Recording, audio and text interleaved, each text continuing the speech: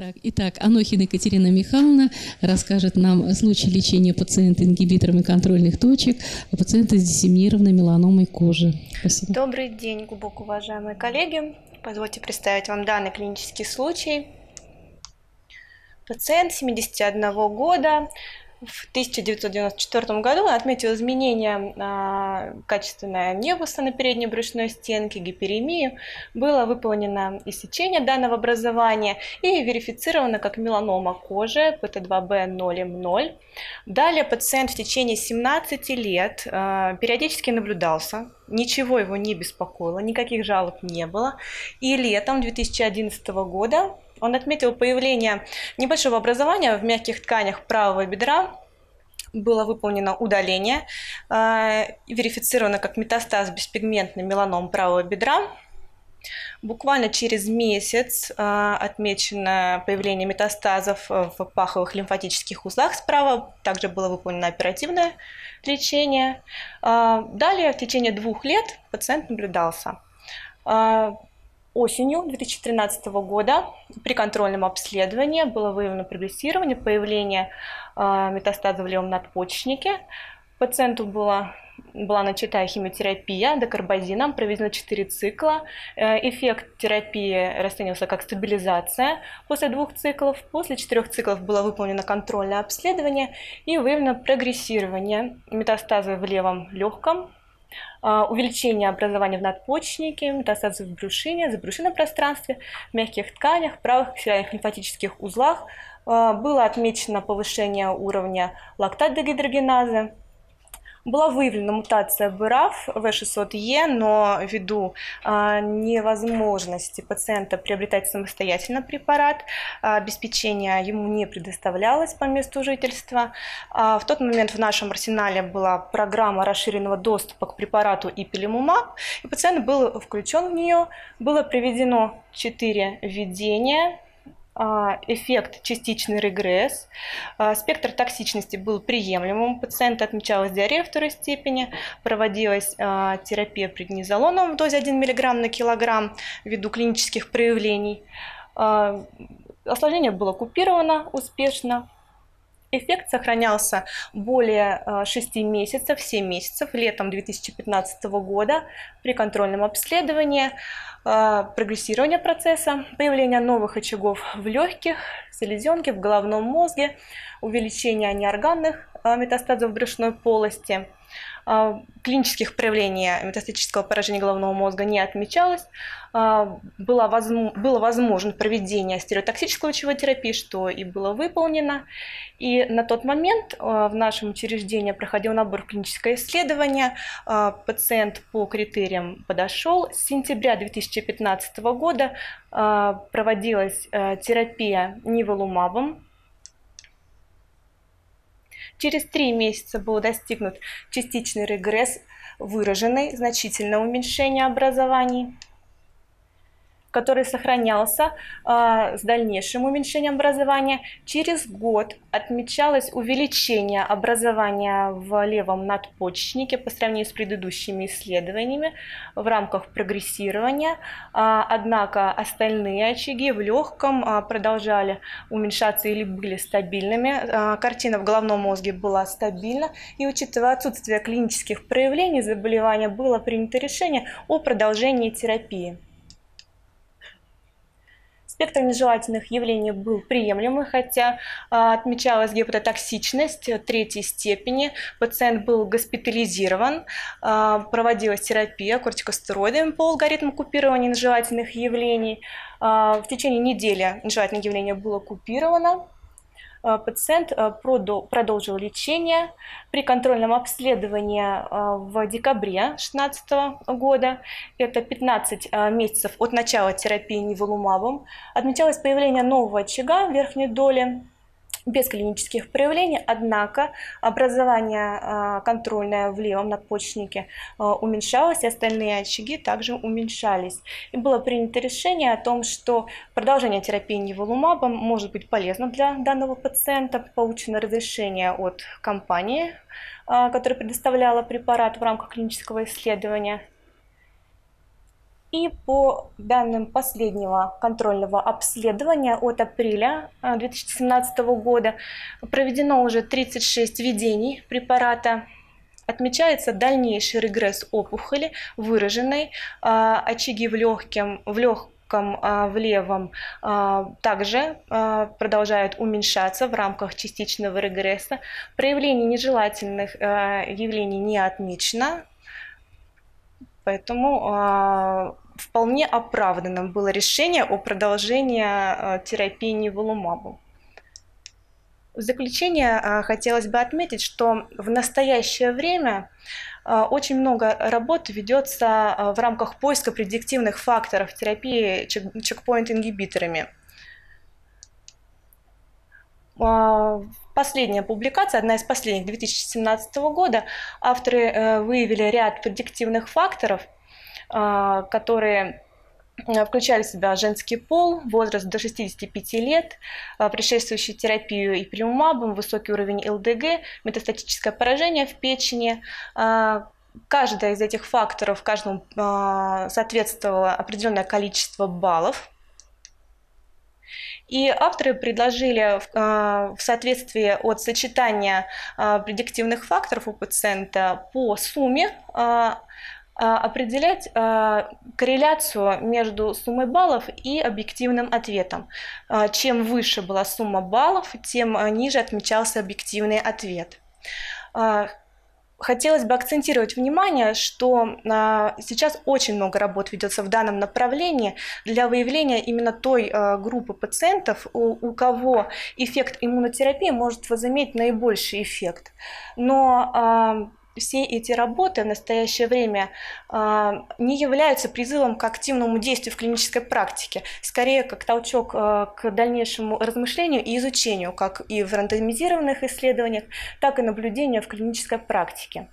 Поэтому э, в этом направлении все продолжает двигаться, и мы также будем для себя отмечать некоторые направления э, и в этой сфере. Спасибо. Спасибо, Екатерина Михайловна. Ну, я хотел бы вот, э, акцентировать несколько вот несколько моментов в течение этого пациента. Ну, с одной стороны, э, мы видим пример очень длительной истории заболевания. То есть пациент начал лечиться в 1994 году и до сих пор он лечится, очень длительный безрецидивный период. Э, с другой стороны, это пример того, как, ну, по сути, наши вот прогностические факторы, не всегда, как сказала Екатерина Михайловна, не являются абсолютными, а являются именно предметом для размышления. Потому что, создавая любую прогностическую модель, ее, во-первых, во-первых, очень сложно валидировать, во-вторых, ее очень сложно проверить, в-третьих, вы можете включить или не включить какие-то факторы. Но общая логика в этих моделях, она всегда одна и та же. У нас, с одной стороны, есть агрессив... признаки агрессивности течения опухоли, с другой, э, с другой стороны, есть возможности пациента. Здесь мы видим, что опухоль постоянно и хорошо отвечала на лечение. И несмотря на то, что если вот посчитать по вот этим всем баллам, у него будет 5, по-моему, да? 3 балла. 3 балла. Я посчитала. Ну, можно больше э, насчитать. У пациента, э, да, э, ну, у пациента, у, у пациента высокий ЛДГ, у пациента есть метастатическое поражение головного мозга. 4, 4 балла, да. Да, лечение, Плюс лечение пневмабом. 2. Да. 5. Но метастатическое поражение головного мозга туда не входило, вот именно статистически достоверное. Да.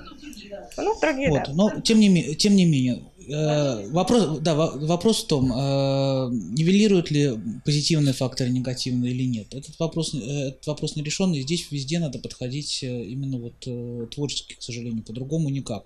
Что интересно вот по поводу этого пациента и на что обращали внимание коллеги, когда мы обсуждали уже этот случай тоже на конференциях, что вот это псевдопрогрессирование надпочечники обычно нам рассказывают как, что это вот реакция, иммунная реакция, она вызывает отек, мы видим увеличение на КТ размеров очагов, так вот, э, при меланоме бывает вторая история, которую вы все хорошо знаете, это кровоизлияние в опухолевые очаги. Это очень типично и для головного мозга, где могут быть проблемы, является именно кровоизлияние, которое выглядит как увеличение. И здесь, вероятно, имела похожая ситуация в надпочечнике, потому что э, в меланоме может вообще не быть сосудов, там сосуды представлены лакунами, высланными опухолевыми же клетками. Поэтому вот когда происходит вот такое, ввиду некро... обильного некроза изменения, мы можем увеличить увеличение размеров опухоли, за которым следует вот такой вот драматический регресс. Поэтому надо обязательно ориентироваться на общее состояние пациента.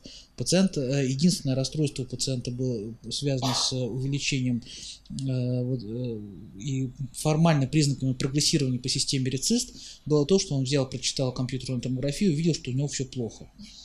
А все в остальном он работает, он ездит на конференцию, у нас не всегда введение удается получить, потому что ему по работе в командировку надо съездить. Поэтому э, вот на это надо обращать внимание. Как правило, такие вот псевдопрогрессирования не сопровождаются увеличением клинических симптомов. И когда иммунная система работает, все-таки симптоматический эффект, он держится, он остается.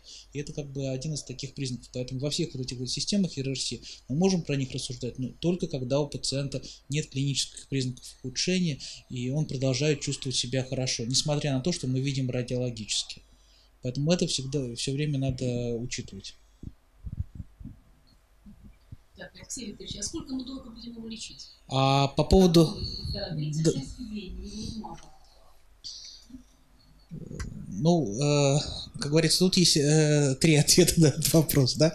Э, официально по регистрации э, срок лечения не ограничен.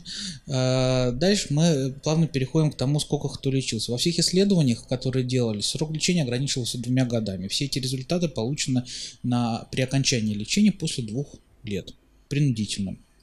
Э, у него скоро подойдет этот срок, он начал лечиться в сентябре, соответственно, ему осталось э, пролечиться 4, где-то 4 месяца. Э, вопрос в другом. То, что показывала Анна Игоревна, что многие пациенты, которые по разным причинам сошли с исследования, э, у них нет прогрессирования. Фактически из тех данных, из 46 пациентов, э, у двоих было прогрессирование при наблюдении длительности наблюдения в один год, а у остальных прогрессирования не было, и все эффекты сохранялись, они могут дальше развиваться. На примере пилюмаба мы знаем, что может быть достаточно ограниченного количества введений, потому что это та же самая монотерапия. Например, интерлейкина-2 мы знаем, что может быть достаточно ограниченного количества введений, там тоже примерно 2-3 месяца терапии, и потом эффект держится десятилетиями. Поэтому э, вопрос очень спорный. Да, сейчас э, планируются исследования, по, которые будут решать вопрос, стоит или не стоит останавливаться, например, после полного регресса. Э, многие коллеги э, подходят э, тоже довольно весьма творчески. Там, я вот знаю подход э, западных коллег, там Э, тоже все упирается в деньги и в систему финансирования по страховке, поскольку из-за особенностей страхования э, как бы э, за таблетированные препараты платит где-то государство, клиника этому не имеет отношения, а вот за внутривенные препараты надо вводить и платит клиника, то тут уже начинаются вот такие вариации. Например, есть подход такой, что делают 6 месяцев лечения PD-1 ингибиторами, и потом при отсутствии прогрессирования переходят на наблюдение. Но это не стандартный подход. Это с пациентами можно обсуждать, но у нас нет доказательной базы, к сожалению, по вот таким делам. Тем не менее, это вот как бы одно из мнений э, коллег, и, скорее всего, конечно, лечение должно быть конечным. Оно не может быть бесконечным, потому что не факт, что вот в тех очагах, которые, например, у этого пациента остались, не факт, что там есть опухолевые клетки вообще. А уменьшение размеров очагов, как тот же рубец, да, это может происходить очень долго, это может происходить медленно, это может не уйти совсем, но при этом есть ли субстрат уже. Да, по поводу, по поводу очагов. Э, недавно вот была конференция, не знаю, были вы на ней, э, э, про меланома, то, что проводил Лев Вадимович. И был клинический случай, Харкевич Галина Юрьевна представляла его, у пациентки, которая, которая лечилась тоже длительное время иммунотерапии. Очаги визуальные оставали, оставались, но когда иссекли одно из образований, то опухоль клеток не выявлено было. А внешне это выглядело действительно как очаги э, метастатические меланомы. Поэтому действительно, вот какой здесь ответ, что в очагах находится, здесь трудно ли что-либо сказать. А ЛДГ нормализовался на фоне лечения у этого пациента, да? Да, а, да. во время после, через два месяца после начала терапии неволумабом ЛДГ пришло в норму. Отмечалось увеличение, но а, когда отмечались явления гепатотоксичности, тогда отмечалось повышение уровня ЛДГ до 350. И у этого же пациента на сказать, да, у него лечение начиналось не все благополучно, потому что после одного введения у него был гипертонический криз, он попал в стационар с гипертоническим кризом, и э, вот как раз увеличение, э, уменьшение ЛДГ, нормализация была на фоне одного введения неволюмаба. Мы его продолжили лечить после где-то примерно через месяц после э, выписки уже с гипертоническим кризом, то есть вот одно другого в принципе никак не исключает. Тем не менее, все удачно завершилось, мы продолжили вот Геплотоксичность да, третьей степени, которая достаточно быстро и хорошо контролировалась. То есть, да, у него были ему непосредственно нежелательные явления. Они очень хорошо уходили на фоне лечения. Он своевременно обращался, он очень дисциплинированный пациент, поэтому как бы тех вот страшных историй, которые были до этого с утра, у него не случилось, и все благополучно, да, и все благополучно, в общем, заканчивалось. Я еще хотела обратить внимание, уважаемые коллеги, наверное, в первый раз мы встречаемся со случаями, когда не редуцируется доза. Заметили? Дозы не редуцируются, они также остаются, да, 2-3 миллиграмма на килограмм веса. Вот. В некоторых случаях а, оговорена сразу доза а, препаратом при 200 миллиграмм, но у нас в Российской Федерации, Федерации зарегистрированы препараты, что и пилюмаб, ниволумаб, и пембролизумаб с определенной дозой на килограмм веса. То есть мы ее высчитываем, и доза при э, достижении какого-то нежелательного явления при третьей степени не редуцируется, повторяю еще раз, используются глюкокортикоиды, а доза если мы лечим пациента, той же дозой мы лечим. Так что вот запомните, пожалуйста. Спасибо. Есть ли вопросы к Екатерине Михайловне? Может, еще какие-то вопросы есть? Нет? Все устали уже.